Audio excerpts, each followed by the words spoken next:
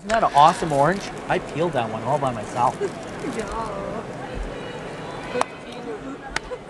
Fan,